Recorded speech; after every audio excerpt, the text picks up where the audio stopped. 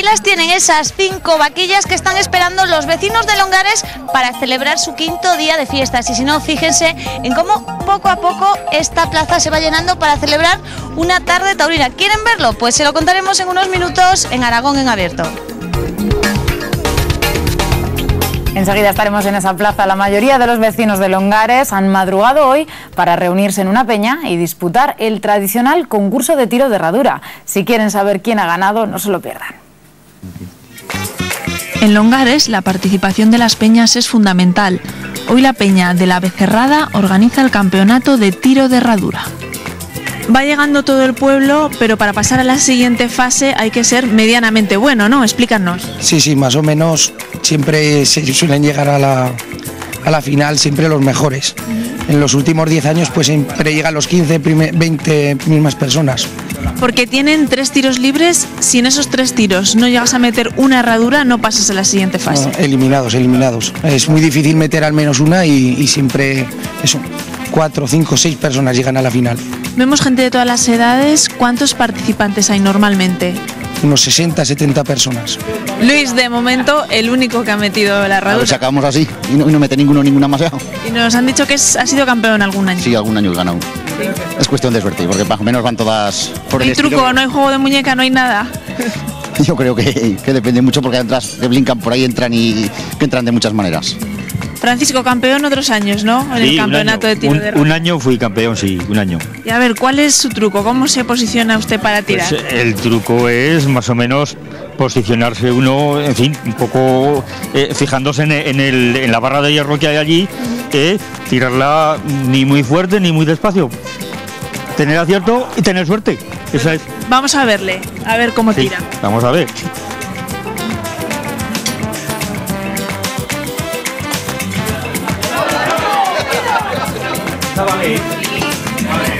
Pues muy bien, sí que vale esa, Sí, ¿no? sí, esa que vemos que ha entrado un poco. Sí, esa, yo creo que esa vale. Sí. Así que su fama era real. Por lo menos pasa a la siguiente fase de Eso momento. es, paso a la siguiente fase, exactamente, sí. Miguel Jaime, alcalde de Longares, esta es la prueba de que no hace falta mucho presupuesto en las fiestas de un pueblo pequeño, sino imaginación. Eso es, mira, tenemos ocho días de fiesta, entonces claro, todo no pueden ser vaquillas, todo no pueden ser orquestas, hay que haber pues concursos para convivir con todo el pueblo y la gente, bueno, pasa un rato agradable en compañía de sus vecinos y esa es la prueba de que, como decías tú, pues no hace falta mucho dinero pues para en estos tiempos rellenar tantos días de fiestas. Y también la organización entre peñas, porque cada una de las peñas, sobre todo las de adultos, se encargan de una actividad. Sí, es fundamental, la comisión de fiestas no puede llegar a todos, son gente muy joven, también tiene que descansar, pues a estas horas están todos en la cama y bueno, gracias a la participación de todas las peñas, pues conseguimos tener un programa muy completo para todas las edades. Acaba de meter este chico una. Vamos a preguntarle. En el segundo tiro ya has acertado, ¿no? Una, un buen balance. Pues sí, sí. ¿Habías jugado la herradura antes? En, en mi vida. La primera vez. La primera. Bueno, pues tiene futuro. Sí. Pocas mujeres hemos visto al principio, pero os vais animando, ¿no? Sí, poco a poco. Era la primera vez que tirabas. La primera vez. Yo creo que todas las que estamos aquí es la primera vez. Pero vienes de cantera, decían por ahí que tu padre ha sido campeón. Sí, mi padre fue campeón y yo la primera vez, vamos que ni lo había intentado nunca. No he visto ni una. Se nota. Christopher con 12 años, Santiago con 39, y Luis con 48. Y ahora, entre estos tres campeones ya podríamos decir qué es lo que sucede, cuántas tiradas tienen. Bueno, pues ahora es una última tirada y desempate al que más herraduras meta. Y ya pues terminamos porque solo hay dos premios y hay que dividirlos, a ver quién, quién es el que más suerte tiene. Pues bueno, que gane el mejor. Venga.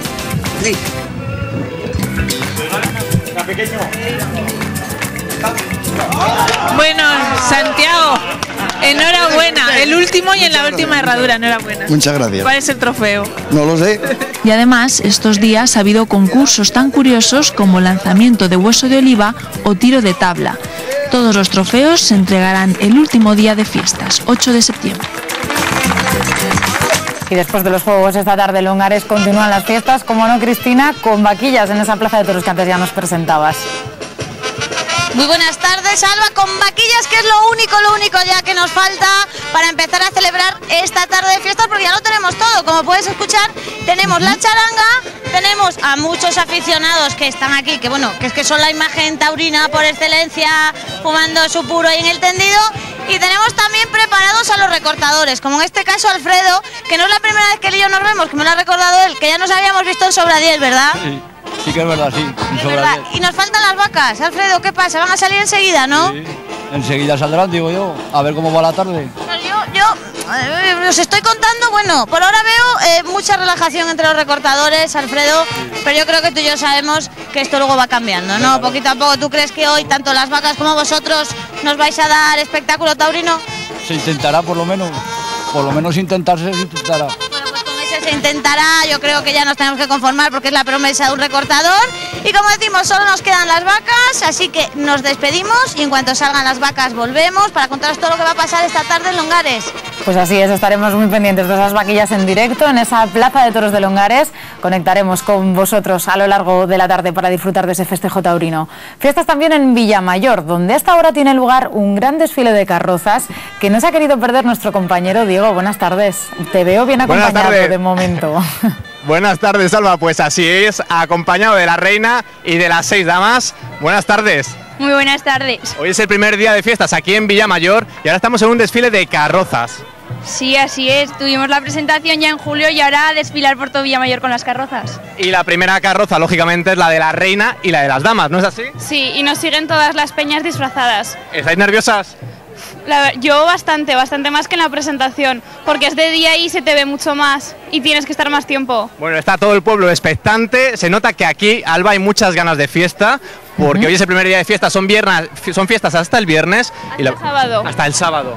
Y la verdad que tenéis muchas ganas de fiesta, ¿no? Se nota, se nota que la gente está... Sí, hay muchas ganas porque se llevan esperando todo el año. Pues muchas gracias. Voy a hablar con el concejal.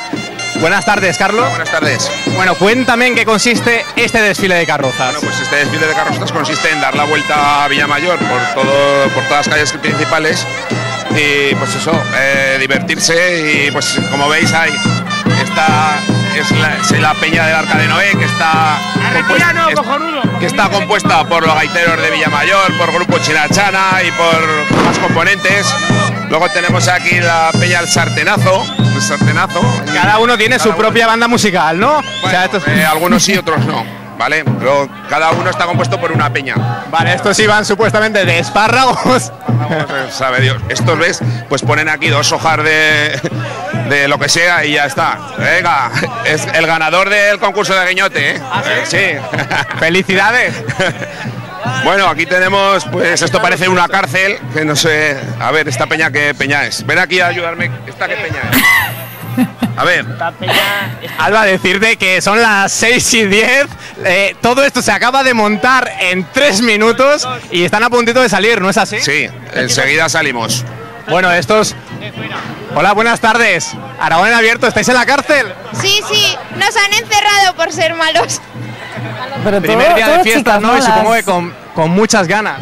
Sí, sí, tenemos muchas ganas de fiesta, hemos estado ya en el chupinazo y esta noche más. A disfrutar de las fiestas. Yo voy a, a seguir con Carlos.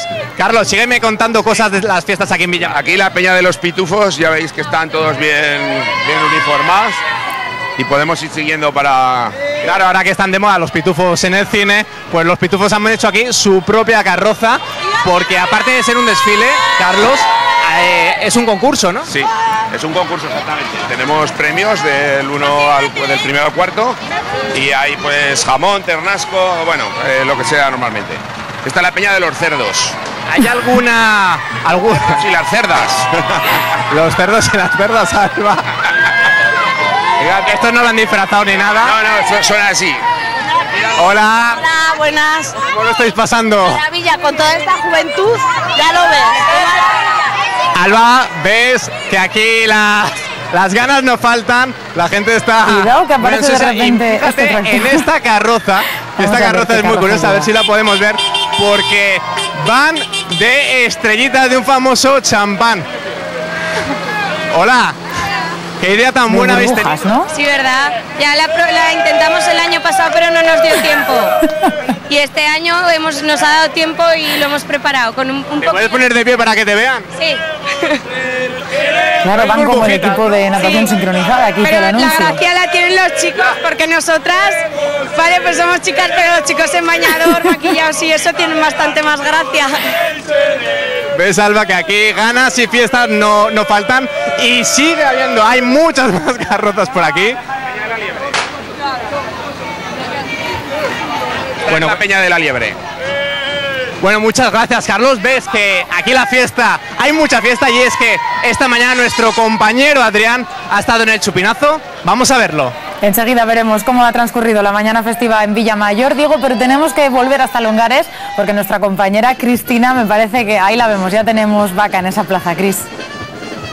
Así es, Alba, y está la primera vaca de la tarde que ha salido con ganas. Yo creo que sabe que estamos ya en el quinto día de fiestas en Longares, que es un pueblo con tradición taurina además y ha salido con ganas. Ya le da un tozolón a un chico que hay que decir que está bien, que se ha llevado el primer susto de la tarde, Emilio. Pero yo estoy aquí con Emilio, que es una persona muy taurina, que hoy hemos dicho que es nuestro comentarista particular. Me dice usted que lo que le ha pasado al chico era una vacuna, ¿no? Eso que eso es como una vacuna. Eso ha sido el primer susto para nada, para ponerse en marcha ya. Claro, ahora ya, ya está inmunizado, ¿no? Ahora Igual ya se tiene con más agujetas ganas. mañana. Igual tiene agujetas mañana el chico, aunque se ríe Emilio. Aunque bueno, yo les he visto, bueno, la proporción, la proporción hoy de recortadores está bien, una vaca. Aquí, esto es lo que nos pasa a veces, que vaya saltos pegan estos chicos también, ¿eh? Este es de Alfamén que tiene mucho brillo. Este chico además, ves lo que decía antes, que también Alfredo nos lo habíamos encontrado, este chico es recortador de toros, claro, y vemos que, que es que no le tiene ningún tipo de ningún tipo de miedo, digamos, respeto al que hay que tenerle siempre a las vaquillas, pero ningún tipo de miedo. Esto no hay que tener miedo, hay que tener respeto, pero miedo no. Respeto Mire, usted sí. que sabe de esto me decía que hay mucha tradición aquí, pero que antes había más, ¿no? Más, claro.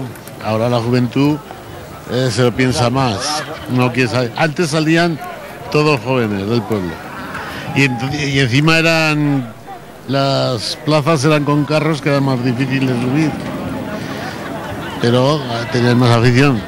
¿Sabes qué pasa también? Que ya llevábamos menos dinero y entonces esto. Este señor que se ríe, él me decía, Alba, que claro, es una teoría un poco nueva, pero que, que se ha perdido la tradición porque ahora hay trabajos fijos. ¿Esto, esto cómo es?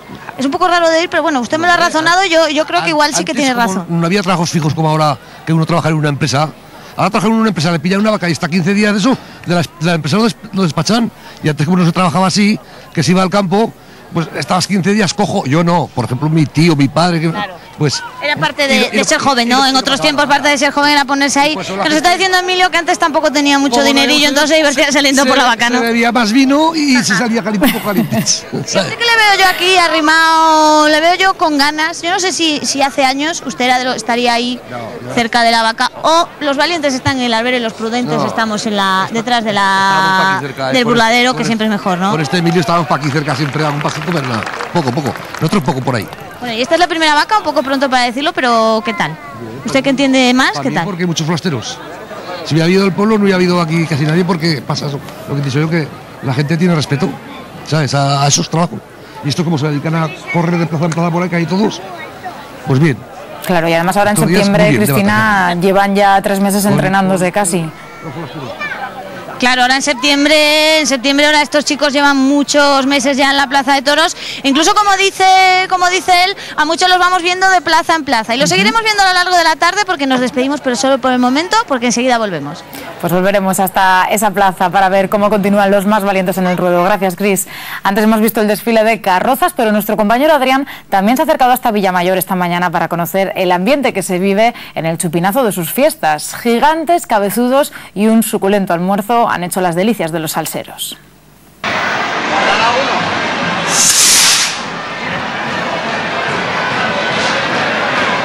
El chupinazo da comienzo a las fiestas de Villamayor de Gallego.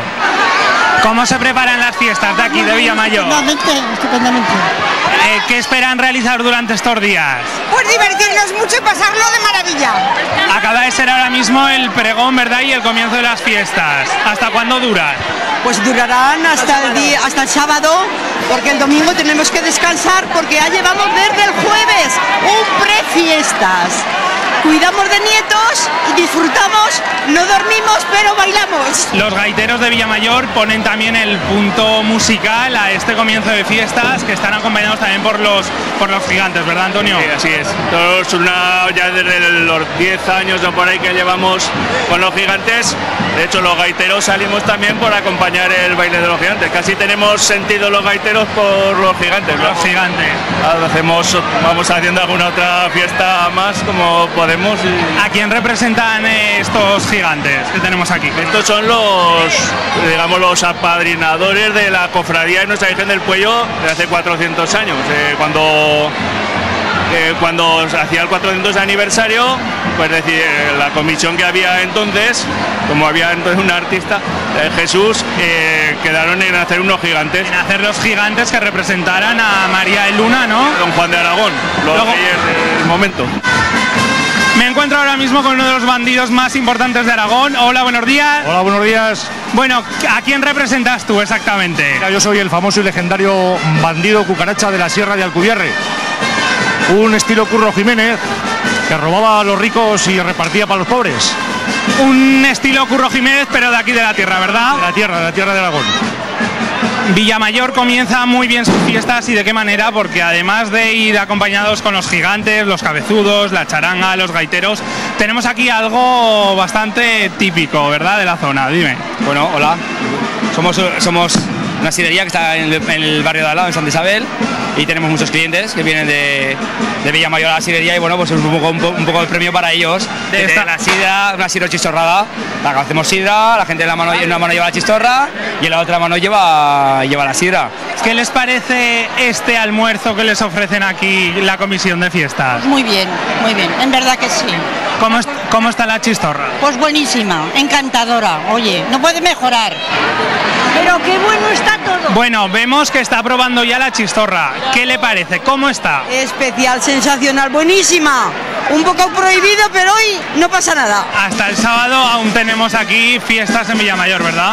Actor de todo tipo, para los pequeños, para los medianos. chicos, chacos, para todos. Invitamos, invitamos a toda la gente que quiera venir. Son fiestas populares, no les faltará nada de beber, de comer. Aquí se invita a todo el mundo.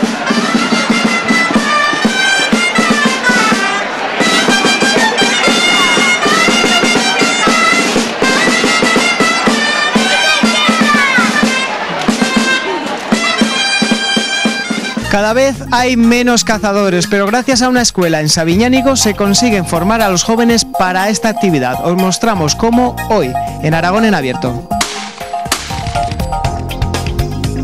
Han tenido todos los que necesitaban. Sí, sí. A pesar de venir a última hora. A pesar de venir a última hora, nos vamos completos. Bueno, otro año lo van a intentar esto hacer más de manera más escalonada. No. O dejándolo a última hora ya están acostumbrados. Sí, lo dejamos a última hora porque venimos tarde de vacaciones, entonces no hay ningún problema. El último día aquí te sirven todo. Muchos son los que apuran hasta el último día para comprar los libros de texto y también el material escolar. Y es que septiembre trae consigo la vuelta al cole.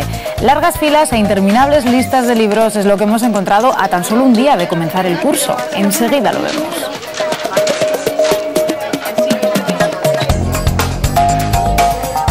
Además de esa vuelta al cole, el mes de septiembre es también un mes de cambios en nuestra cesta de la compra. Saboreamos los últimos melocotones y en breve nos despediremos de la sandía. Lo hemos comprobado esta mañana en el mercado del barrio de Delicias.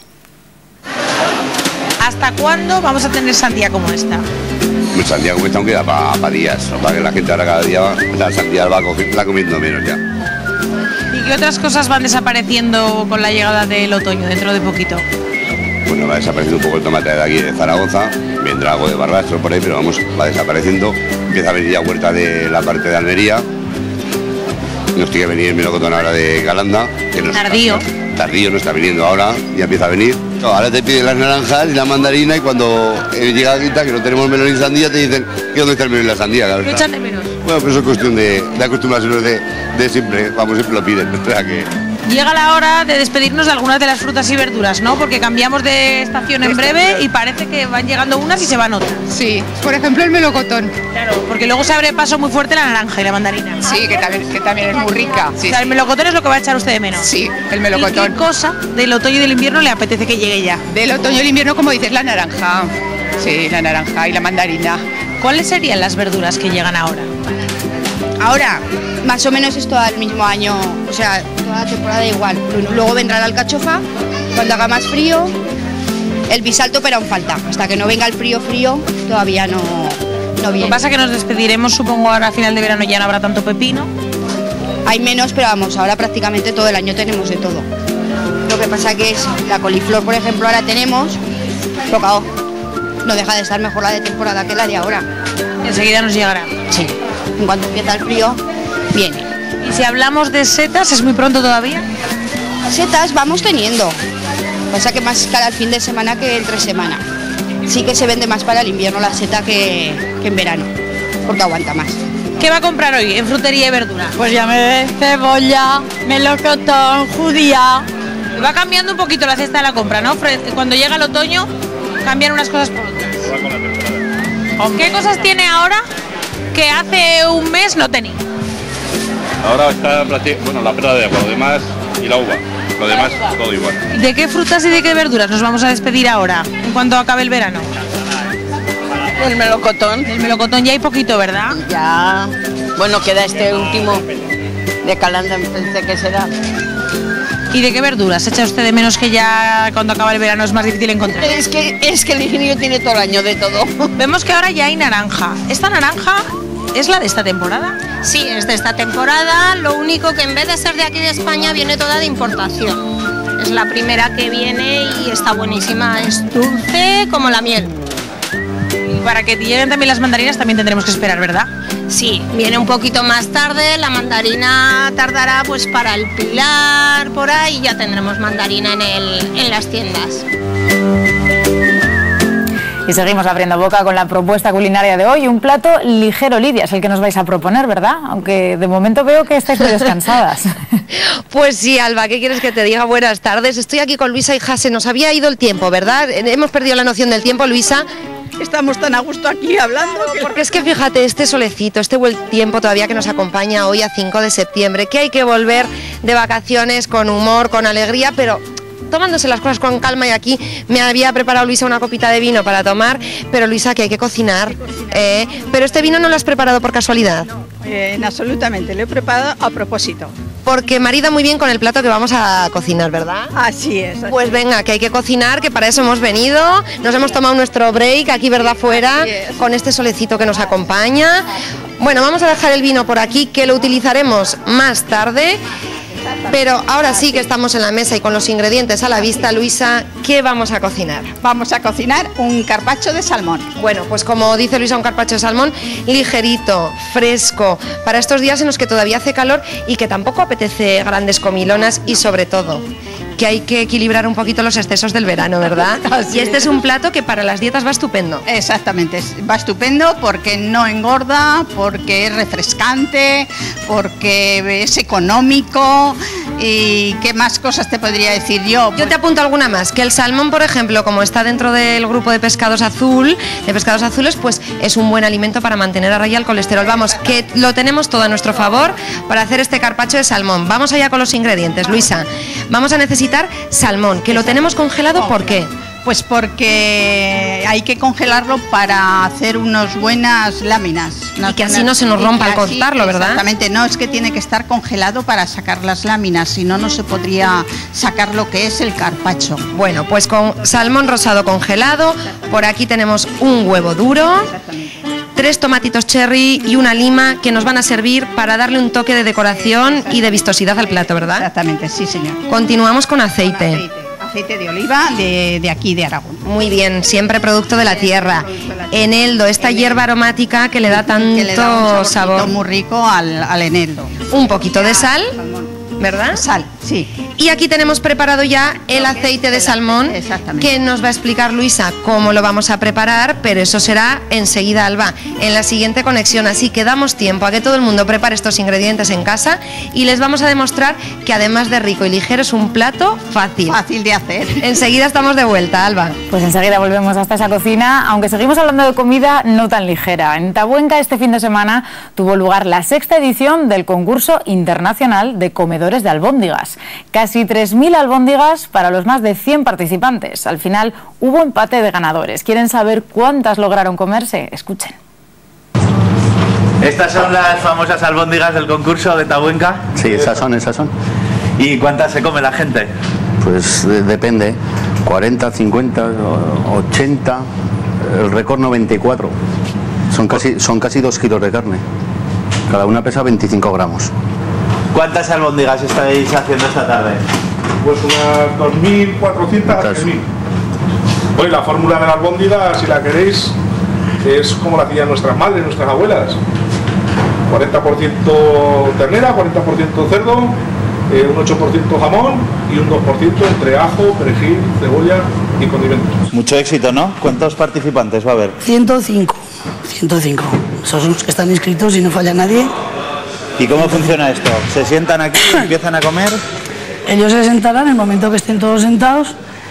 eh, se empezará a servir la- el primer plato, numerado con el 1, que es la primera tanda de 10. Y conforme vayan terminando, van pidiendo un segundo plato. Y el que quiere terminar, pues se levanta de la mesa y ya está. Lo que no se puede hacer es estar sentado y no comer. El que se atreve, pues pide el tercer plato. 30 Ya vamos por albóndigas. 30. Y así se van eliminando. Ahora vais a ver lo que es comer de verdad, lo que es comer albóndigas en Tabuenca, en la sexta edición del campeonato de comer albóndigas, la albondigada de Tabuenca. Voy a por el récord, ¿eh? A por el récord, ¿cuál es tu récord? Mi récord 30 y algo será. ¿Y habrá que superarlo? No, por el récord total. Ah. A por las 95. ¿Tú crees que vas a poder? No. Te veo ya sudando. Ya, ya, voy sudando.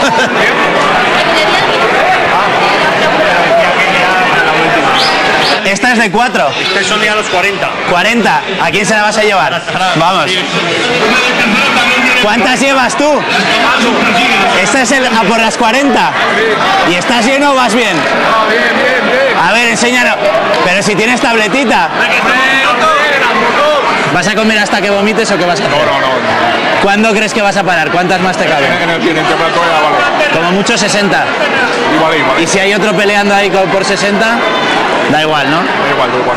Te empieza a faltar ya un poco hasta el aire. Javier, ¿cuántas llevas? 23 o 24. ¿El tercer plato ya? Creo que los demás van. ¿Tú cuántas llevas, por ejemplo? 42.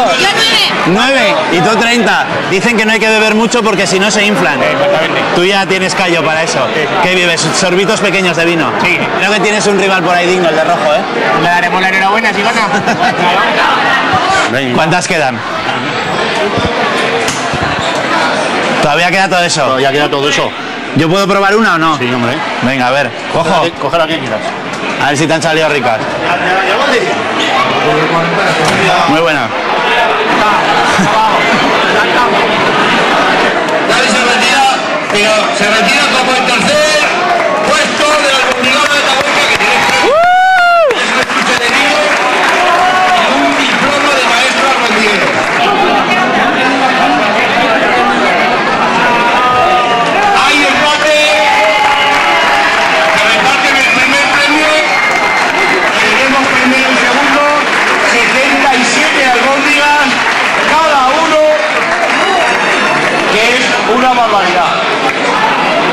Coger el vaso. Tomar. Sal de frutas. Bien, ¿no? Va a venir bien. En Andorra, sin embargo, han cambiado las albóndigas por los huevos duros, ahí los ven. El ganador del concurso, denominado Échale Huevos, que también se ha celebrado este fin de semana en esta localidad, consiguió comerse nada menos que 13 huevos duros y se llevó de premio un jamón, que dudamos mucho lo acompañe de más huevos. Y también este pasado fin de semana el Diablo volvió a tomar las calles de la Almunia por tercer año consecutivo. Lo ha hecho acompañado de otros diablos, gigantes, cipotegatos y otras figuras malignas para vencer al bien en una gran fiesta en la que el fuego y los petardos fueron también protagonistas. No se pierdan este reportaje, lo verán en unos minutos. Antes tenemos que regresar hasta Longares, vamos allí para seguir disfrutando de las vaquillas y de los mozos que se atreven a recortarlas. Y ahí vemos unos muy valientes, Cristina. Así es, Alba, muy valientes, que se arriman mucho y que nos están dan- Un susto, pero muy buen espectáculo también. Mira, fíjate, fíjate. además ya decíamos que aquí vienen eh, recortadores, de, hay de Longares, hay de Alfamén, de Sobradiel también. Como tú decías, llevan ya todo el verano de plaza en plaza y cuando llega septiembre yo creo que están ya de lo más atrevidos. Si no, ahí los ves saltando el muro y yo te voy a presentar, porque como hay que venir a estas cosas, Alba, yo sé que a ti te gustan mucho las fiestas patronales, hay que venir en Así grupo es. de amigos o de amigas, ¿no? O sea, hay que venir en cuadrilla, porque si no las cosas no son las mismas. Y yo aquí buscando, buscando, me he encontrado a todo este grupo de amigas, de señoras. Soledad, usted le voy a pedir que me diga así rápidamente, es que son muchas y ninguna se llama igual. Entonces eso está muy bien, pero a mí me resulta más difícil. Aquí tenemos a Araceli, tenemos a Soledad también. Están a la sombra. A Carmen, a. Flori, a Tomasa Emilia. y a Emilia. Bueno, ellas son el grupo de amigas. Estas dos señoras de ahí no tanto, pero ahora las vamos a presentar para que entren dentro del grupo porque ellas también quieren estar ahí pasándoselo bien, ¿no? Pues como decimos, vaya susto nos estamos llevando, Flori. Que la escuchaba yo, a usted le está llegando un mensaje, esos que la han visto en la tele ya, ¿eh? que esto es muy rápido. A Flori Alba le lleva escuchando todo el rato, cada vez que estos chicos se nos acercaban, que hacían uy, uy, uy, uy, uy, uy, uy, uy, uy. Que Flori, poco, que le gustan las vacas, pero que lo pasa mal. Pero, lo paso mal, sí, es verdad, sí. Y además, bueno, en Longares yo creo que ya es una buena plaza, ¿no? Porque estaban estos chicos hoy que se acercan además, que claro, los vemos ahí en esas maderas que visto así parece que ahí están protegidos, pero bueno, están más o menos, ¿no? Tienen peligro, sí. Decía, aquí no sé con quién hablar, yo esto yo creo que contigo, Tomasa, que nos faltan los mantones de Manila, porque os vemos aquí en la mejor parte de la plaza de toros, aquí el sol y sombra, unas mujeres tan guapas, además cada una lleva un abanico diferente y nos faltan los mantones de Manila. ¿Y si los, pues los tenemos en casa? Pues mañana habrá que traerlos o qué? Ah, porque no que se han terminado ya las vaquillas. Ah, con lo que le gusta a usted también, que usted era de las que la había, otra de las que escuchaba yo, Alba, que me decía, ay, estos chicos, estos chicos, qué susto, ¿verdad? Que sufre, que se sufre. Sí. Se sufre hoy, porque te voy a contar mientras sale la siguiente vaquilla el planning que tienen estas señoras, no para el día de hoy, para el día de mañana. Soledad, que aquí comida que no falte, ¿no? ¿Qué van a hacer ustedes mañana? Que no falte la comida y no falte las chicas, guapas como tú. ¿Y como usted? Hombre, yo ya, ya soy pasada, ya soy del rincón de ahí para allá. Mañana tienen ellas comida de amas de casa, después chocolatada. Y me dicen que yo de broma les preguntaba cuánto engordan estas fiestas y me dice que dos kilos, pero luego esto lo bajamos, ¿no? Y venir mañana que os invitaremos a un chocolate. Hombre, pues En eso vamos a quedarnos con la invitación que no sé yo si nos vamos a poder resistir. Y aquí tenemos a Celia. Celia, que yo no sé si utiliza usted el abanico para abanicarse o para taparse del sol o ya no sé para qué. Si un solo frente a otro, ¿sabes? Uy, que se nos cae la vaca, Celia. Bueno, pues usted es de la que se asusta, pero un poco menos, porque fíjate, Alba, que me estaba contando Celia, que usted tiene dos hijos toreros. Dos nietos. Ah, dos nietos, perdón. ¿Cuántos años tienen sus nietos? El uno, 29, Daniel. ¿Y el otro? Roberto, 23. ¿Y son toreros? Toreros que salen a torear. ¿Cuántas veces ha ido la abuela a verles torear? Porque como abuela un poquito de susto se tendrá que llevar, ¿o es usted temblada de nervios? Fútbol vaca salen. Ah, para el fútbol vaca. O sea que además son futbolistas también, ¿no? De todo. Roberto sí. Daniel ahora no. O sea que usted va a estar aquí muy atenta a que salgan sus nietos, ¿no? Sí, que sí. Bueno, mientras seguimos viendo la vaca, ¿eh? Tercera, cuarta vaca ya, que hay que ver cómo les gusta a ustedes en Longares este, eso- estas tardes taurinas, ¿eh? Muy bien lo pasamos. Muy bien lo pasan y ya Ángel, bendito tú eres entre todas las mujeres, vaya sitio te has buscado, que estás aquí. Dígame. Que tenemos una plaza muy acogedora, porque aquí si vienen 500, caben los 500, y si vienen 2000 también. Decir una cosa, yo que ya he venido aquí un año, que bien nos recibís a todos los que venimos de otros sitios, ¿verdad Ángel? Aquí todos, y la mitad son de Alfamén y, y de todas partes. Aquí vienen los que torean, todos de fuera. Les dejamos las vacas para ellos. Pues ya ves, qué majos son todos los vecinos de Longares como Ángel. Las vacas no acaban, porque como nos ha dicho Celia, enseguida comenzará el fútbol vaca, así que si quieren ver cómo se gastan estos chicos con esa mezcla de deporte y toros, pues estén muy atentos porque volvemos enseguida. Con ese fútbol vaca del que estaremos muy pendientes, volveremos hasta esa plaza peculiar de Longares. ¿eh? Luego nos cuentas más detalles de esa plaza cuadrada. Gracias, Cris. Seguimos hablando de toros. Vamos a conocer a Pedro. Se jubiló desde hace 10 años y desde entonces se dedica a recopilar objetos taurinos. En su casa de Liaga ya ni le caben. Por eso ha creado un museo taurino con plaza de tiendas incluida. Beatriz se ha puesto hoy la montera, lo van a ver, y se ha ido a conocerlo. Cuando yo era joven toreaba todos los años por aquí, incluso en algún pueblo de alrededor también. Y fui. O sea que es aficionado taurino, Pedro, desde, se puede decir desde que nació. Pues sí, porque era mi padre muy aficionado y yo seguí la marcha. Y ahora no se anima a salir a los ruedos. Ahora los años no perdonan. Los años no perdonan para, para salir a torear, pero lo que no significa que pueda recopilar todo lo que tiene en esta habitación de su casa. Ah, eso sí, eso sí, recopilar todo que pillo. 1916. ¿Son las más antiguas que tenéis? Estas, estas fotos son las más antiguas que tenemos, las recuperamos de una casa antigua y hemos hecho unas copias para tenerlas aquí. Que prácticamente Ramón es como los de vaquillas por las calles que estamos haciendo Sí. ahora en el 2011. Entonces eran los toros por la calle, las calles eran diferentes ahora porque estaba cerrado el pueblo, ahora está abierto. Y también hacemos toros por la calle, pero toros en sogos. Pedro, que viene la vaquilla. Cuidado aquí, que menuda casa torera tiene. Al burladero. Oye, qué burladero más majo aquí, ¿eh? Sí. Este es para hacernos fotos y eso. Para cuando vienen ¿no? los amigos, se pone el Amigos y capote por aquí. amigas, sí,